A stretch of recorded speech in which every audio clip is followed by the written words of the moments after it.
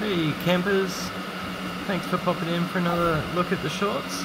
Uh, here we have a low poly plant pot being printed. This one's in black PLA filament. Uh, it is eco-friendly and biodegradable. It's going fairly slow just because I like slow prints for the better line work. Doesn't take too long this model. It's got a gyroidal infill which is one of the strongest. Probably does take a little bit longer to print that particular infill.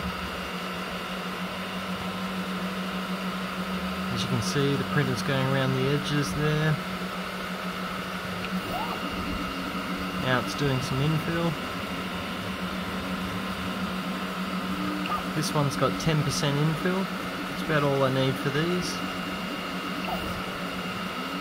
You can see the pre-made holes in the bottom there for good drainage. Pretty excited to see the finished product with a plant in it. Let me know what you guys think. Thanks.